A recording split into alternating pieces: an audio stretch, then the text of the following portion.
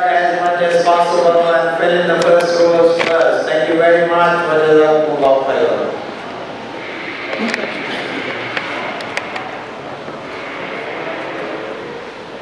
الله أكبر الله أكبر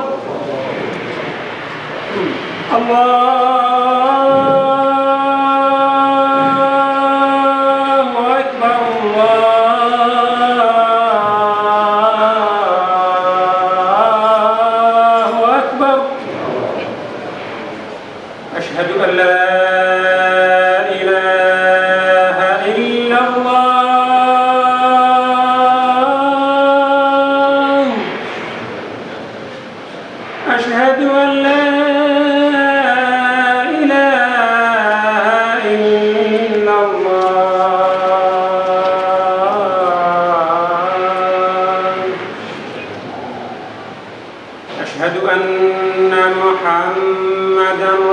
رسول الله.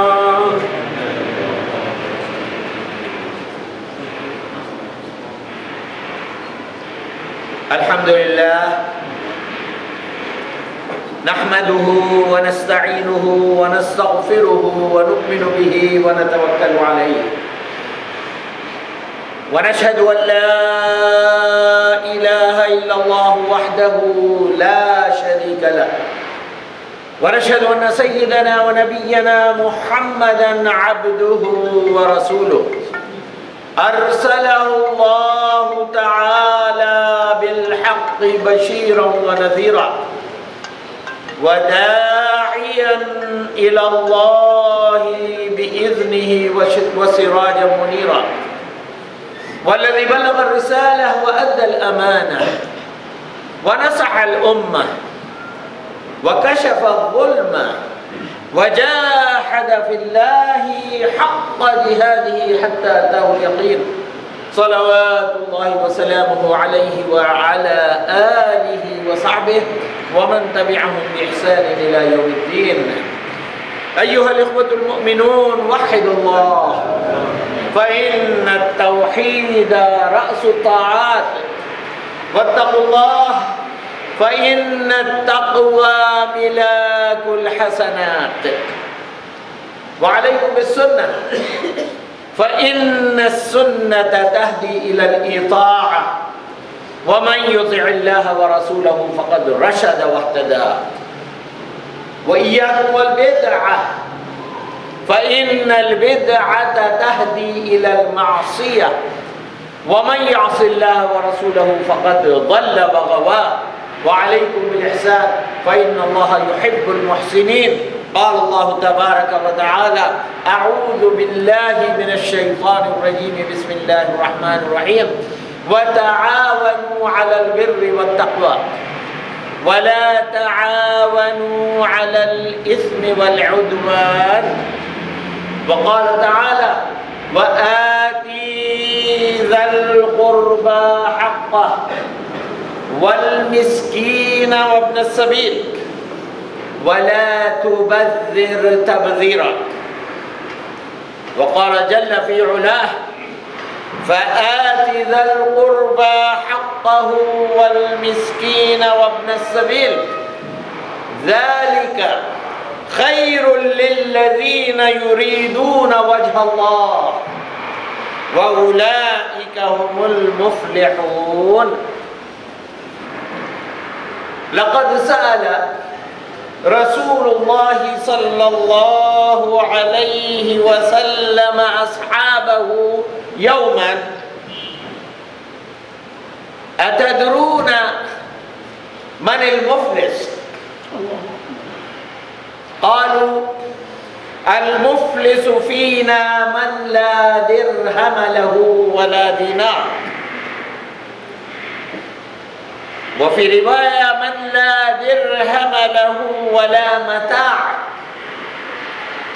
فقال المفلس من أمتي من يأتي يوم القيامة بصلاة وزكاة وصيام. ويأتي وقد شتم هذا وقذف هذا وأكل مال هذا وسفك دم هذا وضرب هذا فيعطي هذا من حسناته. وهذا من حسناته.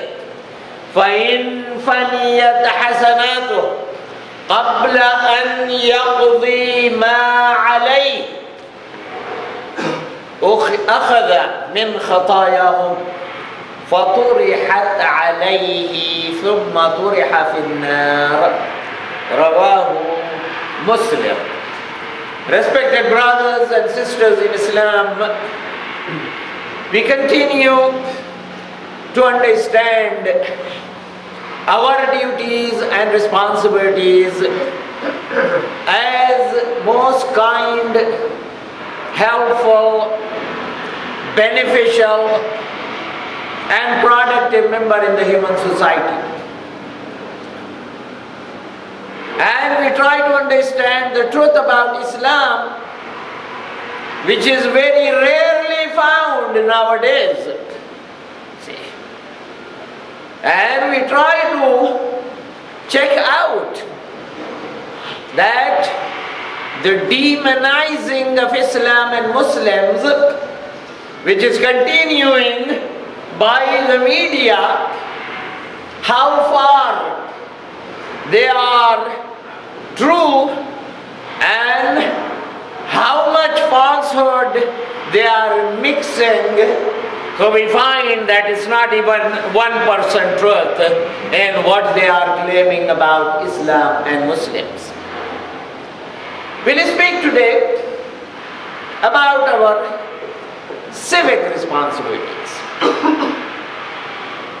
and civic responsibility is not as a modern 21st century individual who is living in the most modern country, the richest and the most powerful one, but we'll take you back to 1438 years, era of Prophet Muhammad, peace be upon him. Obviously, the conclusion of Islam as a religion was on his hand. He was not the one who founded Islam. Islam was founded by God Almighty through His first creation, that is Prophet Adam, who was the first man, who was given the title of Khalifa in chapter 2, verse 30. And Khalifa is a vicegerent, a trustee of God on face of earth. Then the message continued in its phases of development. Through the phases of development of human intellect, prophets and messengers were coming, and the messages were modified according to the social change in the community, addressing the common good of the community.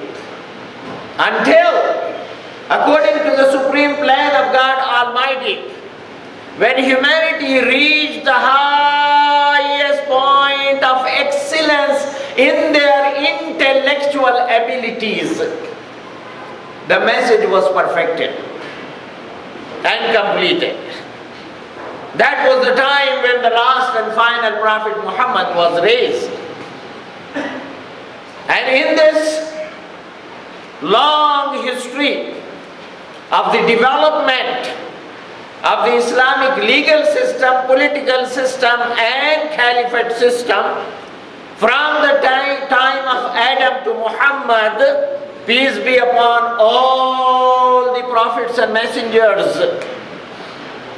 In that system, five prophets are considered to be the greatest. You can read chapter 42, verse 13. they are Noah, Abraham, Moses, Jesus, and Muhammad. May choicest peace and blessings of God be upon each and every one of them. They are given the title of the prophets of the resolution. And all these five prophets and messengers, if we take them as our role models, you know, we can, despite the bad condition throughout the world, where we see lots of genocides and wars, lots of injustice and unfair treatment, and violation of rights of the people, we can still, with our individual and group struggle, bring the justice to this troubled world and as a result we can achieve the peace. But in order to do that, we have to come out of our ghetto mentality. The mentality of small groups. Every group is rejoicing him or herself. You know, every individual in that group is only connected to that small thing. As mentioned in chapter 23, verses 51 and 52, that God Almighty created one group that is the entire humankind. And this group is called Ummah, connected to Eve, the first woman, dignifying the women. Although the first man was Adam, but we are connected to our first mother Eve. Then in chapter 49, verse 13, God Almighty tell us that the whole purpose of creating this universe, you know, is to spread the knowledge. See, like the Prophet, peace be upon him, said about the about God Almighty Allah subhanahu wa ta'ala. In a hadith Qudsi reporting and relating to God, God said, I was a hidden treasure and I wanted to be known. So I started creating. So the knowledge was given the reason. In that chapter 42 verse 13, God says, we made you into nations and tribes. You know. And the reason is not given that to fight each other, to commit genocide against each other, to, viol to violate the rights of other human beings. None of those. The reason God Almighty gave was لِتَعَارَفُوا So you may engage into a process as individuals, as group, as nations,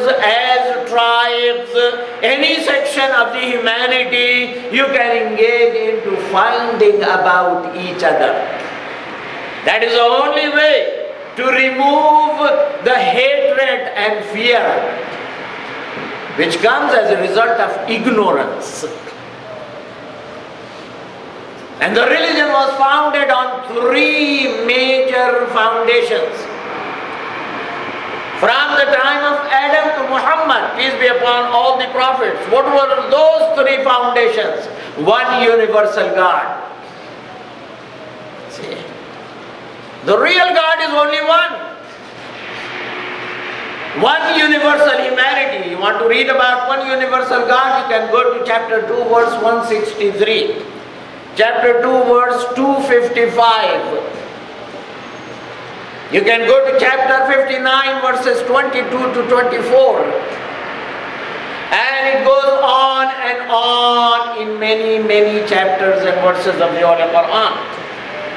The second foundation was one universal humanity, which I have just recited, verse 13 of chapter 42.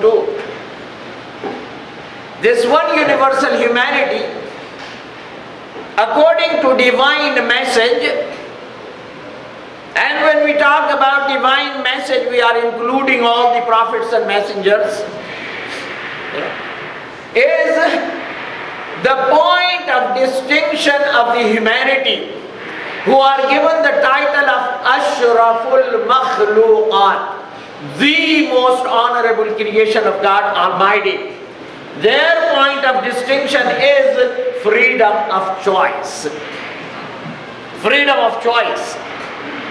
Every human being is required to respect the choices of others.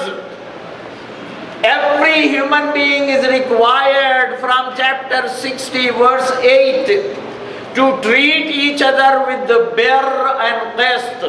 Bir is love and kindness, qist is justice and fairness.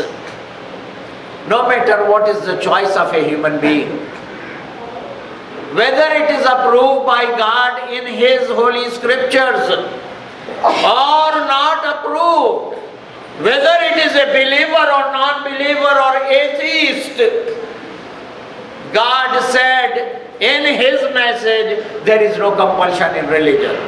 Everyone has, as a very basic human right, most fundamental is the freedom of choice. And when you accept that, that you have the freedom to be whatever you want, then everybody else has the same freedom that a wrong choice of another person should not make you hate that person or to unjustly or unfairly treat that person. If you do that, you will be held responsible on the day of judgment. And the third dimension is one universal message. Divine message is only one, which was conveyed by all the prophets and messengers who were raised by God Almighty in all the parts of the world, starting from the time of first man and first prophet Adam to the last and final prophet. That is the divine message. And that is why we say about Jews and Christians together with the Muslims. These are the three branches of Abrahamic religion. All three of us agree on Prophet Abraham and we find our connections in there and that is the reason in the Holy Quran God Almighty if you would like to read it, eh, read it there are many verses let me give you one example Surah number 3 chapter number 3 verse number 64 where Muslims are required to cooperate with the Jews and Christians because all these three communities share believing in one universal God. قل يا أهل الكتاب تعالوا إلى كلمة سواء بيننا وبينكم ألا نعبد إلا الله ولا نشرك به شيئا We agree, we cooperate with each other. Why? Because we are representing God on face of earth.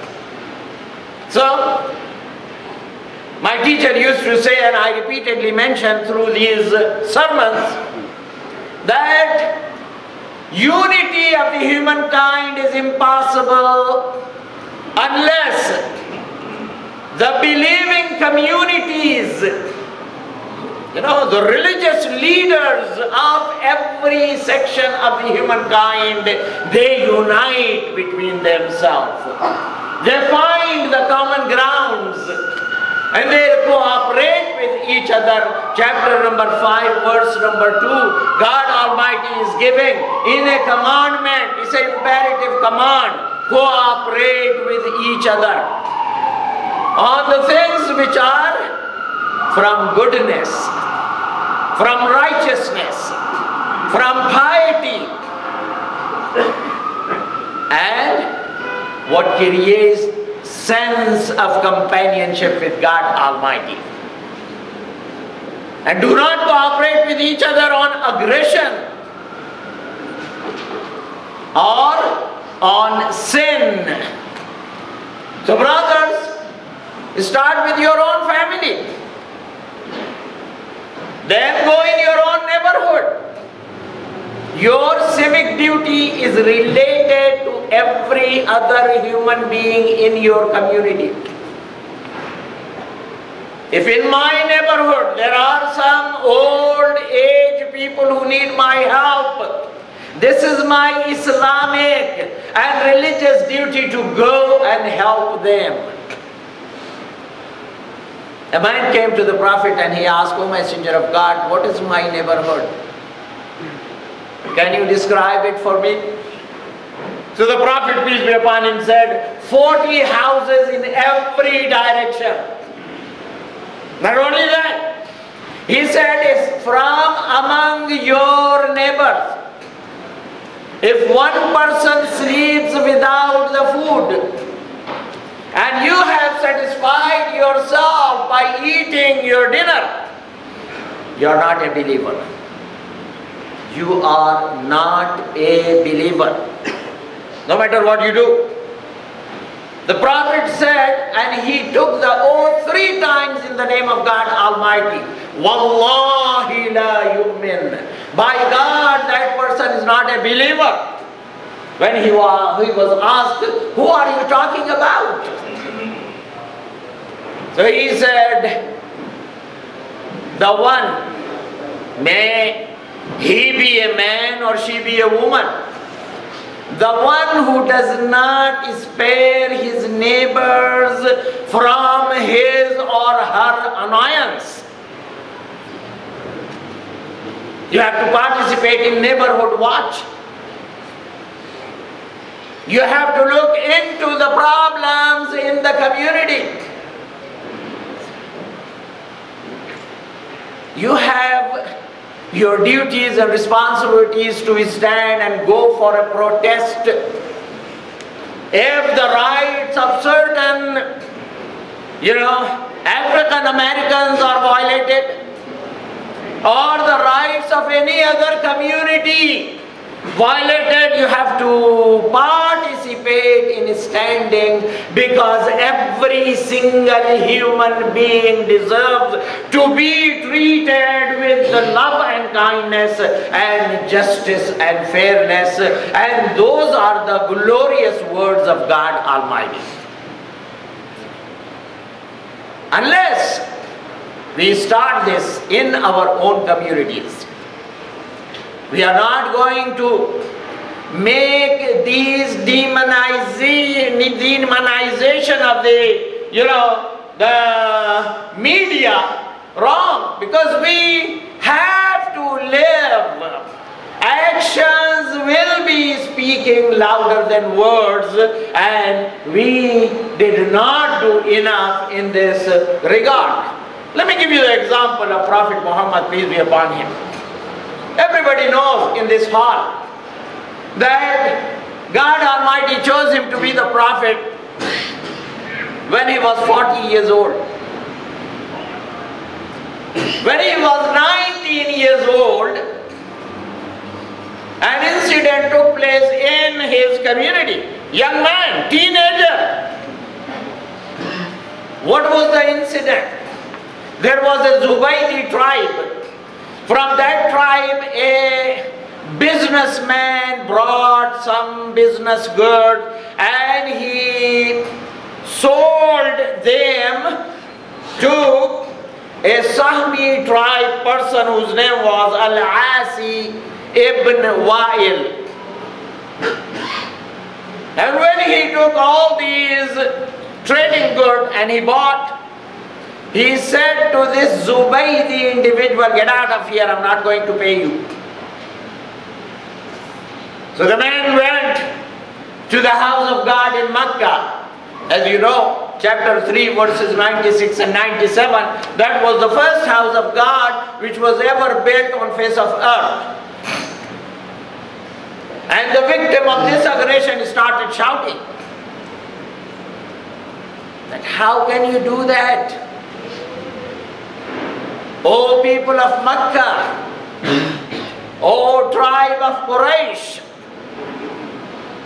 you live in a city where the house of God is. You were known to be noble in your treatment.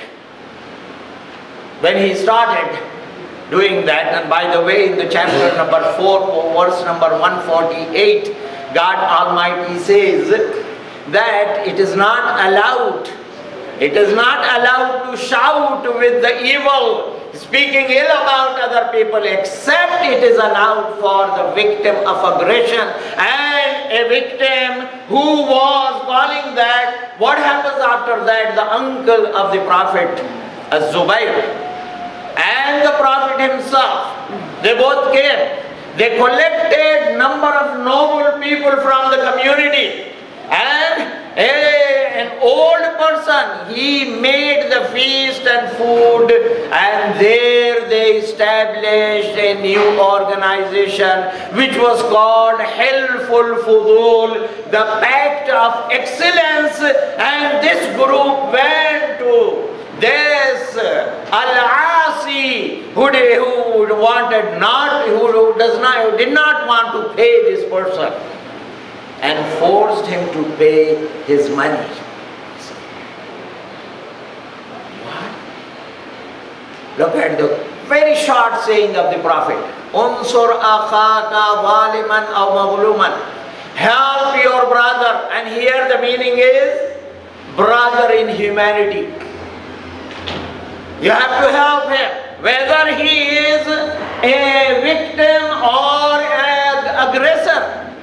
People said, Oh messenger of God, we know how to help and a victim deserves to be helped. But how can I help the aggressor? The Prophet said, by stopping him from his aggression. That is your duty and your responsibility. When he became the Prophet, his wife was speaking. She wasn't speaking. He was, when he, you know, received the first revelation, the wife who was for 15 years his wife. She is talking about from your you know, birth till the age 40, you have portrayed in your own community that you are one individual who has here some pain for everybody else, who is quick to go and to help, who doesn't see the old people carrying the heavy bags of the grocery, who goes and helps the orphan and needy and all that. So she said, that is the reason.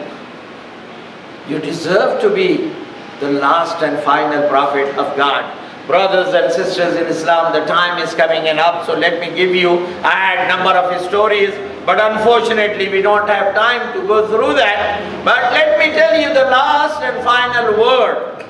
The essence of the message of Islam. That is, to serve the humanity is the greatest deed of righteousness. And to violate the human right is the greatest sin. You will be asked about it on the day of judgment. No matter how righteous you work, you will not enter the paradise unless you pay back all the human rights which you have violated in your life. And the currency on that day will not be money. On the day of judgment, the currency will be your own deeds. First you pay, that was the hadith of saying of the Prophet I recited, that the people will come with the prayer and fasting and righteousness of all kind.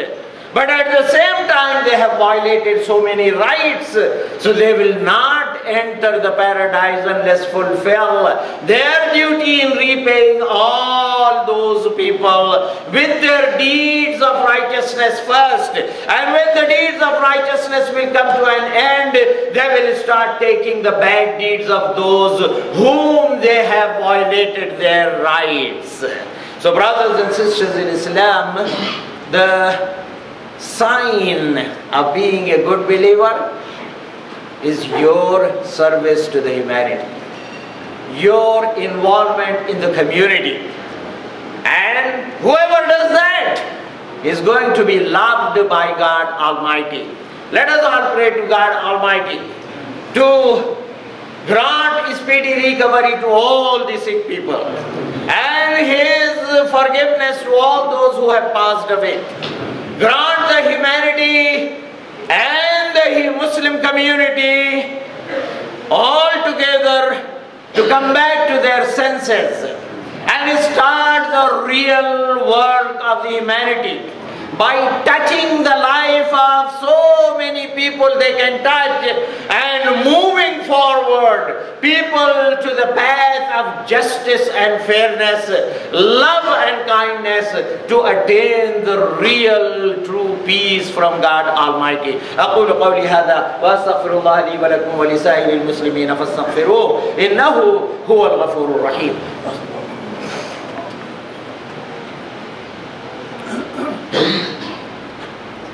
الحمد لله حمدا كثيرا كما أمر.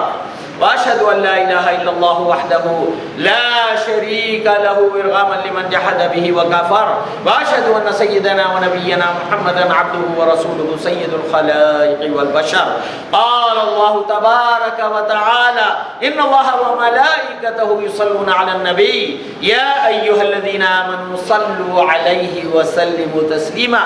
اللهم صل على محمد وعلى آل محمد بعدد من صلى وصام وصل على محمد وعلى آل محمد بعدد من قعد وقام.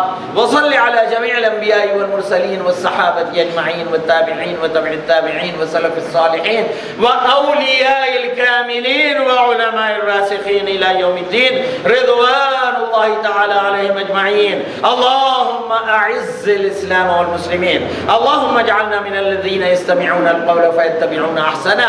اللهم وحد كلمة المسلمين. اللهم ألف بين قلوب المؤمنين. اللهم اشف مرضانا ومرضى المسلمين. اللهم اغفر لجميع المؤمنين والمؤمنات والمسلمين والمسلمات. الأحياء منهم والأموات. إنك سميع قريب مجيب الدعوات. برحمتك يا الراحمين عباد الله رحمكم الله. إن الله يأمر بالعدل والإحسان وإيتاء ذي القربى وينهى عن الفحشاء والمنكر والبغي يعظكم لعلكم تذكرون. اذكروا الله يذكركم وادعوه يستجب لكم. ولذكر الله تعالى أعلى وأولى وأعز وأجل وأهم وأتم وأعظم وأكبر. والله يعلم ما تصنعون. أقم الصلاة.